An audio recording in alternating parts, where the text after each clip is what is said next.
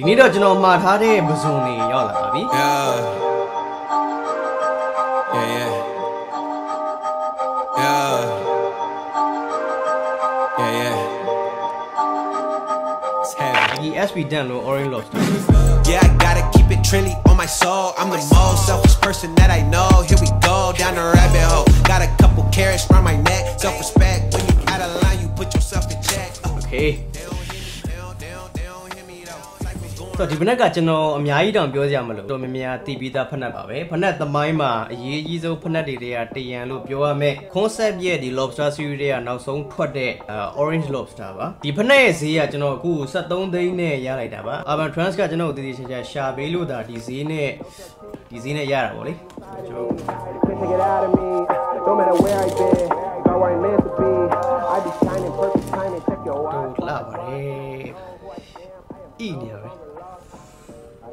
lobster တွေကကျွန်တော်အလိုချင်ဆုံးဖက်နှက်တွေတည်းကတရံပါပဲဆိုတော့ lobster တွေကြောင့်ပြောရရင်ကျွန်တော်တို့ lobster တွေမှာမဟုတ်ပါဘူးကျွန်တော်နာမည်ကြီးတဲ့ဖက်နှက်တွေနာမည်ကြီးတဲ့ brand တွေအားလုံးကသူတို့ရဲ့တမိုင်းကြောင်းကောင်းမှုတမိုင်းကြောင်းထေဝါမှုကြောင့်ဈေးကြီးတယ်နာမည်ကြီးတယ်လို့ကျွန်တော်ပြောလို့ရတယ် AV ဘာလို့ဈေးကြီးလဲဆိုတော့ AV က19ရာစုနှစ်လောက်ကတည်းကဘရင်တွေမင်းဆွေမင်းမျိုးတွေတတိတကြွယ်တွေနိုင်ငံကောင်းဆောင်တွေအာဒီလိုလူတွေသုံးတဲ့ brand မို့လို့ဈေးကြီးတယ်အိတ်တစ်လုံးကသူ့ကုန်ကျစရိတ်ကဒေါ်လာ900 600လောက်ပဲရှိပေမဲ့ AV ဆိုတဲ့နာမည်နဲ့အဲ့တလုံးရဲ့ဈေးကဒေါ်လာ2000လောက်ဖြစ်သွားတယ် iPhone ဆိုလို့ရှိရင်လည်း iPhone တစ်လုံးကုန်ကျစရိတ်စုစုပေါင်းရှိလာဒေါ်လာ900လောက်ပဲရှိတာဒါပေမဲ့တကယ်တမ်း iPhone ကရောင်းတဲ့ကတော့1000နဲ့ရောင်းတယ်ပြောမှဆိုရင်ဒါတွေက brand ရဲ့နာမည်အရှိန်အဝါနောက် exclusivity ဒါတွေကြောင့်ပါပဲ2002ခုနှစ်မှာ SB Dunk တွေစပြီးတော့ထွက်ခဲ့ပါတယ်ဒီဖနက်တွေကရိုးရိုး casual စီးဖို့ဖနက်တွေမဟုတ်ပါဘူး SB ဆိုတာ skateboarding ဒီဖနက်တွေက skate စီးဖို့တည်တဲ့ထုတ်ပေးထားတဲ့ဖနက်တွေဆိုတဲ့နာမည်နဲ့တင် skater တွေအားလုံးရဲ့အသေးနှလုံးကို Nike ကတင်သွင်းနိုင်ခဲ့တယ်နောက်ပြီးဒီ SB ဖနက်တွေမှာရိုးရိုးဖနက်တွေနဲ့မတူဘဲနဲ့ skate သမားတွေအတွက်အကျိုးရှိစေမယ့် function တွေအများကြီးထည့်ထားတယ်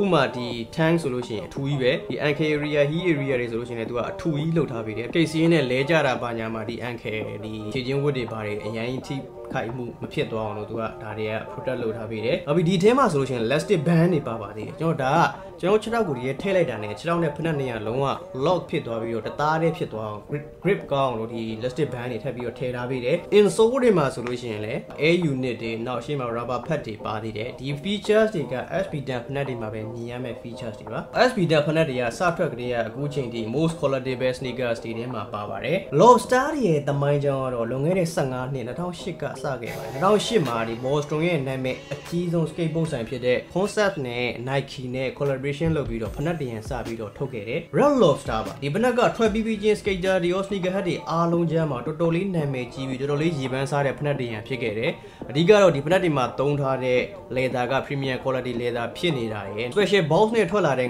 56ရန်ရဲ့အကြောင်းလို့ပြောရမယ်2008ခုနှစ်ဆိုတာဗျပြောမယ်ဆိုရင်အဲ့ဒီတက် Yeezy တွေတောင်မှမထွက်သေးဘူး Yeezy တွေက2015မှာစထွက်တာအဲ့ဒီအချိန်ကလေးကဒီဖနက်တွေရဲ့ special box ကတော်ကြီးကိုကျန်းနဲ့တစ်သားနဲ့ဒူးနဲ့ဒင်နဲ့အထက်မှာဆိုလို့ရှိရင်လုံးဝ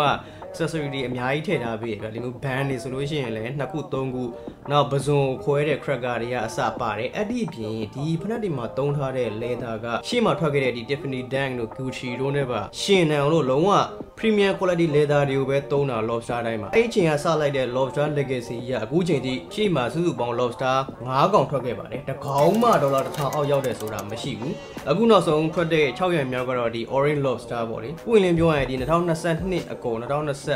မှာကျွန်တော်ဖနက်ဝယ်ဖို့လုပ်တော့တော်လေးရွေးချယ်ရခက်ခဲ့ပါတယ်တည့်ရတဲ့တော်လေးမိုက်တဲ့ဖနက်တွေအများကြီးထွက်တယ်ဒီ lobster ထွက်တယ်နောက် lost and found ထွက်တယ်နောက်ပြီး wavy baby ကလည်းကျွန်တော်အရန်လိုချင်နေခဲ့တဲ့ဖနက်တွေရံပဲအဲ့ဒီအပြင်ဒီ Travis Scott ရဲ့ Black Phantom ကလည်းကျွန်တော် site မှာဆိုလို့ရှိရင်နောက်တဲ့ဒေါ်လာ100ကျော်လောက် site လဲယုံနေကျွန်တော် ရတယ်အဲ့ဒါကျွန်တော်နောက်ဆုံးကျွန်တော် page မှာဖူးတွေပါတယ်လုတ်ပြီးတော့ကျွန်တော်အားလုံးရဲ့ recommendation ကိုကျွန်တော်မေးတယ် wavy baby နဲ့ orange lobster ဆိုရှင်တော့အားလုံးက orange lobster ဆိုပြီးပြောကြတယ် orange lobster နဲ့ lost and found ဆိုတော့တော်တော်များများက lost and found ကိုပဲ recommend ပေးကြတယ်ပဲဒါပေမဲ့ကျွန်တော်ရဲ့စိတ်ကဒီ orange lobster ကနေမခွာနိုင်ဘူးဖြစ်နေတယ်ကျွန်တော်ဒီ orange lobster ကိုပဲ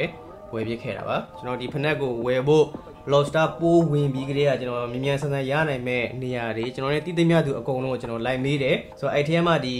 urban trend ကတော့သူ့ရဲ့ gate ကစင်ကာပူမှာကျွန်တော်စိုက်တဲ့ဖနက်တရံရှိနေတယ်ဒီကိုပို့ပေးဖို့တစ်ပတ်လောက်ပဲကြာမယ်ဆိုတော့လည်းကျွန်တော် urban trends ကပဲဝယ်လိုက်တာပေါ့လေသူတို့ကကျွန်တော်အမျက်တောင်မရှိပါဘူးနောက်ပြီးရောက်လာတော့လည်းဒါ QS pair ဗျ QS pair ဆိုတာကျွန်တော်တို့ဖက်နက်တွေထွက်တဲ့အခါမှာဘယ်ဟာဘယ်လောက်ရှားတယ်ဆိုတာမျိုးဒီနောက်ကဟာနေတော့ကြည့်လို့ရတယ်ကျွန်တော်တို့ထွက်တဲ့က generally ရှိတယ်နောက် limited generally ရှိတယ်ပြီးရင် QS လို့ခေါ်တဲ့ crisp strike ပြီးရင် hyper strike ဆိုတာရှိတယ် hyper strike ကတော့အရှားဆုံးပေါ့လေဒါလုံးဝ exclusive အနေနဲ့ကိုယ်နဲ့ like နဲ့တီးတဲ့သူတွေလောက်ကိုပဲပေးတာမျိုးအဲ့ဒါပြီးရင်တော့ QS ဆို QS ဆိုတာကကြတော့ကျွန်တော်တို့ online ကဝယ်တာမျိုးမဟုတ်ဘဲနဲ့ Nike ကသူနဲ့ရင်းနှီးတဲ့သူနဲ့အရင်းနှီးဆုံး store တွေကိုပဲ limited quantity နဲ့ပေးတဲ့ pairs တွေကို QS Quick Strike လို့ခေါ်တာပါအဲ့ဒီပြင်ကျွန်တော်တို့ဒီ Urban Trend ကသူတို့ရဲ့ products တွေလည်းလက်ဆောင်ထပ်ထည့်ပေးလိုက်ပါသေးတယ်ဆိုတော့အဲ့တော့လည်း Urban Trend ကိုတကယ်ပဲကျေးဇူးတင်ပါတယ်အမှန်တော့ကျွန်တော်အကြိုက်ဆုံးအရာက Blue Lobster ပါအဲ Blue Lobster ရဲ့ဈေးကအခုချိန်မှာဒေါ်လာတော့ကျော်တော့ကျွန်တော်မဝယ်နိုင်ဘူးအဲ့အတွက်ကျွန်တော် Orange Lobster ပဲဝယ်ထားပါတယ်ဟိုကျွန်တော်ကြည့်နေတဲ့သူတွေရောဒီ Lobster စုစုပေါင်း9ရန်မှာဘယ်အရန်အယောင်အကြိုက်ဆုံးလဲ